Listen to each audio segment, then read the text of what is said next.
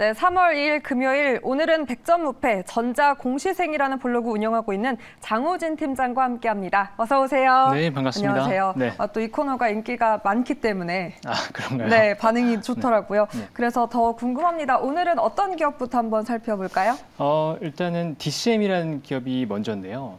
어, 사람의 심리에 대한 얘기를 좀 먼저 드리고 싶습니다. 심리. 사람은 당연히 이제 수익을 보고 싶어 하고 그다음에 수익을 보고 싶어 하는 것보다 더 먼저인 게 사실은 손실을 회피하는 거거든요. 그렇죠. 그러면 이게 그 DCM에서 나온 공시는 오늘 증여였는데 증여라고 하는 건 일단은 세금을 동반하게 됩니다. 그러면 증여세를 가장 회피하고 싶은 게 이제 심리라고 보거든요. 회피라기보다는 이제 증여세를 줄이고 싶은 거죠. 그러면 주가가 낮을 때 증여가 나올 가능성이 굉장히 크다는 건데요. 사실 지난번에 DI 동일이라는 회사를 그 증여 때문에 한번 소개드렸는데 주가가 굉장히 좋았어요.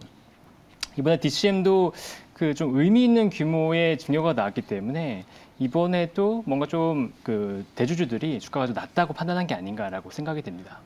그 내용을 보면 DCM이라는 회사는 이제 컬러 강판이라는 회사를 아, 컬러 강판이라는 사업을 하는 회사, 회사 입니다. 그러니까 컬러 네. 강판이라는 건 얇은 철판에다가 그 필름으로 코팅을 하는 걸 말하는데요. 그러니까 보통은 가전에 쓰입니다. 그러니까 냉장고나 세탁기 같은 가전에 이제 철판이 쓰이는 어, 거고요. 그러네요. 그 삼성전자에서 혹시 그 비스포크에 들어가는 그런 컬러라고 그렇죠. 생각해도 되나요? 어, 네네. 네. 그런 이제 컬러 강판을 만드는데 음, 그러니까 아시다시피 이제 팬데믹 시기에 이 가전 수요가 워낙 많이 땡겨왔어요. 그래서 맞아요. 지금은 오히려 이제 가전 수요가 감소하면서 실적이 안 좋았는데 실제로 DCM 실적을 보면 22년 3분기에 매출액이 436억에 영업이익 5억을 기록했습니다. 이게 어느 정도로 나빴냐면 그 직전 분기에 영업이익이 100억이었고 1분기에는 영업이익이 125억이었어요. 그러니까 3분기에 가전 시황이 급격하게 안 좋아지면서 실적이 안 좋은 거죠.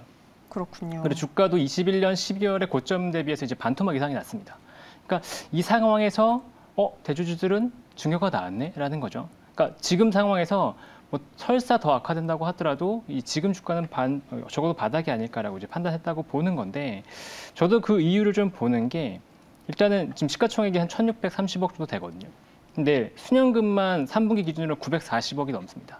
그러니까 수년금이 그 많다는 건 재무구조가 안정적이라는 거고 수년금이 많은데도 PBR이 0.63배 정도 돼요. 그러니까 이게 어느 정도 수준이냐면 2020년 3월 수준입니다. 코로나 때 수준이라서 이 정도 수준을 보면 주가는 충분히 바닥 수준이 아닌가라고 이제 보인다는 거죠. 그리고 여기에 추가적으로 특이사항이 두 가지가 있는데요. 하나는 일단 배당금을 900원 지급하기로 결정을 했습니다. 그러니까 이 높네요. 네, 엄청 높습니다. 그쵸. 이게 배당 시가 배당률이 6.3%니까 웬만한 이자 그 은행의 이자율보다 훨씬 높은 수준이라고 보면 되고요. 그다음에 자사주를 19.3%를 발표했어요. 근데 자사주가 아, 19 자사주가 지금 19.3%를 보유하고 있습니다. 자사주 매입을 발표한 건 아니고. 근데 보면 이 회사가 작년 4월에 그 자사주 30만 주 소각을 발표했었거든요. 그러니까 지금 자사주가 220만 주가 있었는데 기존에도 이미 자사주 소각을 발표했었고 그다음에 주식농부 박영옥 씨라고 이분이 주주 제안을 또 했어요. 어, 아마 자사주 소각을 이제 제안을 한 것 같은데 그런 측면에서 보면 이미 배당도 높게 나왔는데 추가적인 주주 환원의 정책의 여력도 있다. 그리고 주주 제안을 한 상황에서 증여가 나왔다는 거죠. 그러니까 내부자들도 어, 주주 환원을 생각하면서 이제 주가의 반등을 좀 본 게 아닌가라고 싶긴 한데 적어도 이제 앞- 업황은 물론 봐야 됩니다. 업황은 봐야 되지만 장기적으로 봤을 때 어, 바닥을 잡고서 반등할 수 있는 계기는 되지 않을까라고 보고 있습니다. 아, 업황은 어렵지만 이 개별 이슈로 들어가서 뭐 이런 주주 환원 사실 이게 또 최근 기업의 트렌드 아니겠습니까? 맞습니다. 또 네. 바로 이런 정책을 밝히면 주가가 화답을 하더라고요. 그렇죠. 네. 이런 모멘텀도 있다. DCM 사실 이러한 비슷한 이슈로 지난번에 소개했던 기업도 네. 흐름이 또 좋았기 때문에 그렇죠. DCM도 충분히 기대해 볼 수 있는 네, 네, 그렇죠. 기업인 것 같습니다. 자사주가 자- 상당히 많기 때문에 이 네. 중에서 뭐 몇 퍼센트만 소각한다고 하더라도 뭐 추가적으로 시장에서 관심을 받을 수 있는, 있는 여지는 충분히 있다고 봅니다. 오, 그러네요. 네, 흥미로웠습니다. DCM 살펴봤고요. 그럼 두 번째 기업은 어떤 기업 준비해 오셨나요? 그다음에 이제 사람인 HR이라고 그 자사주 매입을 발표했습니다. 이제 30억 정도의 자사주 매입이었는데 그 사람인 HR이라는 회사 혹시 아시나요? 사람인, 그러니까 구인 구직 아, 그렇죠. 관련된 네네. 그렇죠 기업이죠. 구인구직 플랫폼 사이트를 운영하는 회사고 네. 이 플랫폼 관련된 매출이 한 60% 정도 되고 그다음에 아웃소싱이라고 해서 뭐 회사에서 필요한 인력을 이제 여기서 제공하는 게 한 20% 정도 매출이 나오고 그다음에 공기업의 채용 컨설팅 사업을 하는 매출이 한 적도 10% 정도 나오는 회사인데요. 이 회사도 2월 7일에 실적 발표를 하고 나서 실적이 상당히 안 좋았어요. 4분기에 매출이 372억에 영업이익 28억이었는데 뭐 매출액은 그냥 뭐 비슷한 수준이었는데 영업이익이 직전 분기 100, 115억, 뭐 2분기 135억에서 급감을 했습니다. 그러면서 주가도 이제 여기도 많이 안 좋았는데 자사주 매입을 한 거 보면 어 여기도 이제 주가가 바닥을 잡은 거 아닌가라는 싶은 생각은 들긴 해요. 근데 주가가 안 좋은 이유를 보면 굉장히 명확합니다. 그러니까 사람인 HR이 아까 말씀하셨듯이 구인구직 플랫폼이기 때문에 전방 업체에서 상황이 안 좋으면 사람 안 뽑거든요. 네, 그렇죠. 그러니까 경기가 안 좋기 때문에 지금 채용 공고 수가 많이 줄고 있어요. 그래서 실적이 안 좋았던 거고 그렇다고 하더라도 이제 4, 분기 실적이 지나치게 안 좋았던 이유가 두 가지가 있었는데요. 하나는 그 인력을 늘렸어요. 신사업을 위해서 사업이 어려운 상태에서 인력을 늘렸고 그다음에 4분기에 월드컵 있었잖아요. 월드컵 때 마케팅 비용을 많이 늘리면서 작년 전년 동기 대비해서 한 40억 정도 늘렸거든요. 그렇기 때문에 이런 비용들이 있었다. 그래서 적어도 이런 비용들이 일회성이었다는 걸 감안하면 이제 이익이나 이런 것들이 또 올라오면서 매출이나 이런 게 올라오면서 반등할 수 있는 여지가 있다라고 판단이 좀 됩니다.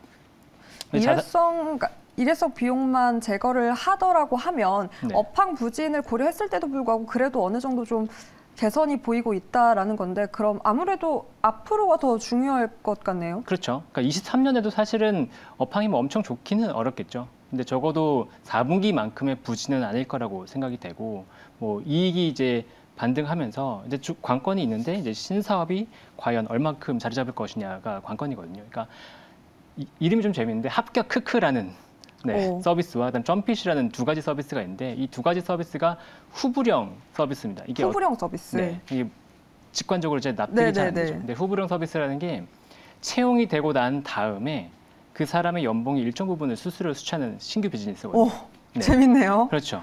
그러니까 이게 만약에 안정적으로 매출이 올라온다 그러면 수익성이 굉장히 좋거든요, 당연히.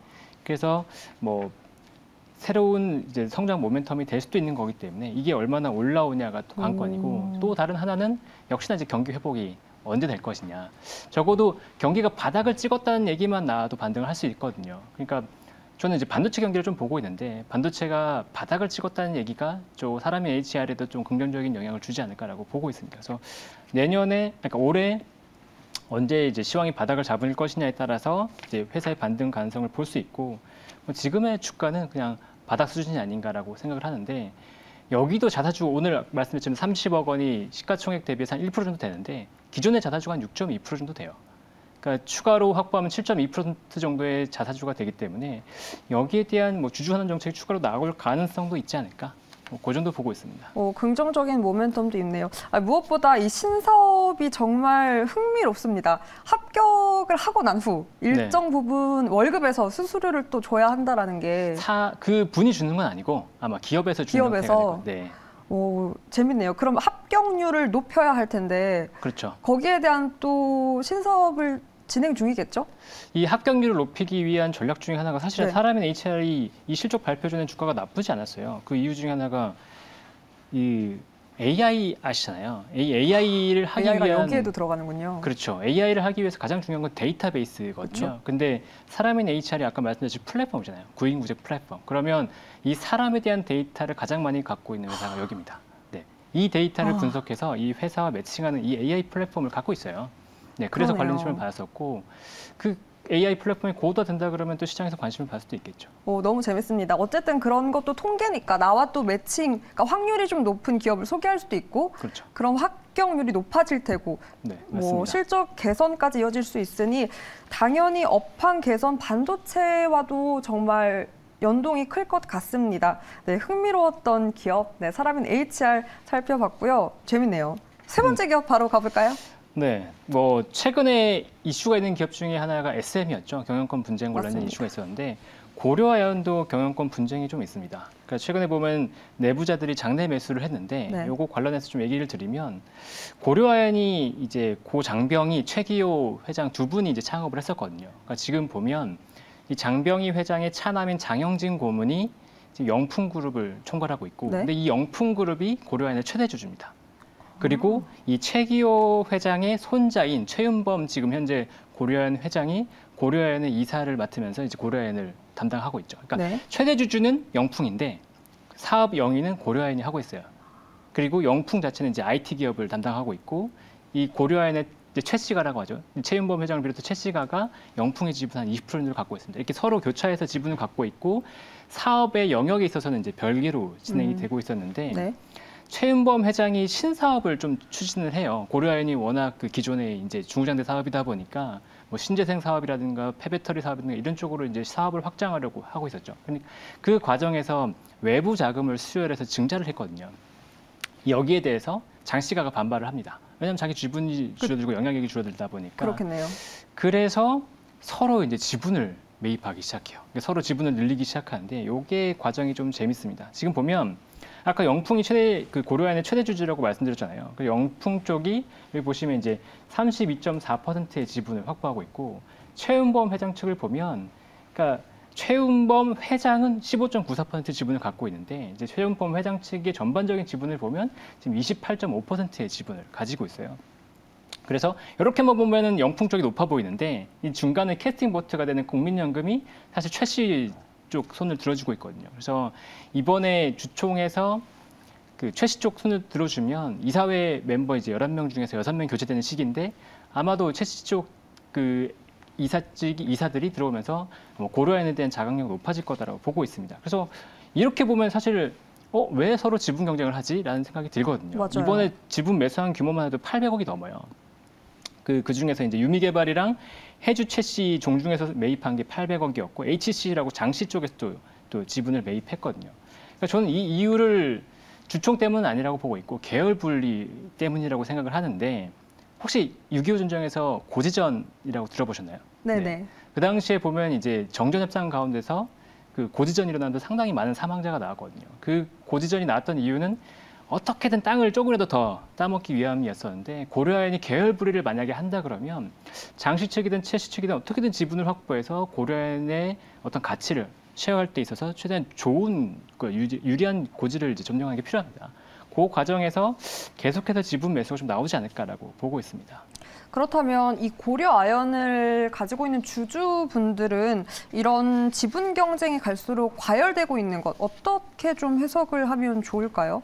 뭐 누군가 주, 식을 사준다는 건 주가가 오를 수 있는 가능성이 높기 그렇죠. 때문에 네 절대로 뭐 나쁜 이슈는 아니라고 보고 있고 또 고려아연이 이제 그 중국이 지금 reopen, reopening을 하면서 관련주들이 좀 좋잖아요 상황이 좋고 그러면 PMI도 지표도 좋았기 때문에 고려아연 사업도 본업도 좀 좋아질 수 있는 상황이고 그다음 고려아연이 폐배터리 사업도 또 진출한다고 했기 때문에 관련된 사업에서도 긍정적인 부분이 있다고 보면 사업이 나쁘지 않다고 보면 추가적으로 지분을 누군가 사줬을 때 주가의 추가적인 상승 가능성이 있다라고 판단이 됩니다. 네, 그렇군요. 이런 뭐 주주 분들한테도 좀 긍정적인 어쨌든 그렇죠. 나쁘진 않죠. 네, 네, 흐름일 수 있을 것 같습니다. 자, 그럼 마지막 기업도 빠르게 살펴볼까요?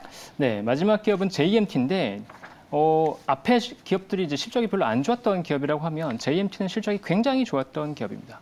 그러니까 이 회사는 PBA라고, 그러니까 PCB 기판 혹시 아시나요? 네, 네. 그러니까 PCB 기반의 SMT라고 이제 실장을 해서 만든 그 이후의 기판을 PBA라고 하는데 이 PBA를 만드는 회사고 그 중에서도 디스플레이 그 중에서도 OLED 쪽에 강점을 갖고 있는 회사입니다. 그래서 매출의 90% 정도가 OLED 쪽 FPBA라고 보시면 되는데 작년 영업이익이 200억이 나왔어요. 시가총액이 587억, 600억 정도밖에 안 되는 회사인데 영업이익이 200억이 나왔고 순이익은 거의 300억 가까이 나왔습니다. 어, 정말 호실적이네요. 엄청난 실적이 나왔죠. 네. 그러니까 이게 미국의 스마트폰, 업- 스마트폰 업체가 이제 신제품이 나오면서 관련된 실적이 굉장히 잘 나왔던 거고, 뭐 앞으로도 실적이 나쁠 거냐? 뭐 그렇지 않아 보입니다. 그러니까 미국의 업체가 뭐 태블릿이라든가 노트북 쪽에도 OLED를 채택할 예정으로 있기 때문에 관련 실적이 개선될 거라고 보고 있는데, 그런데도 주가가 낮아요. 그러니까 이 회사가 수년근만 해도 시가총액보다 더 많은 628억이고 PBR이 0.6배 정도밖에 안 되거든요.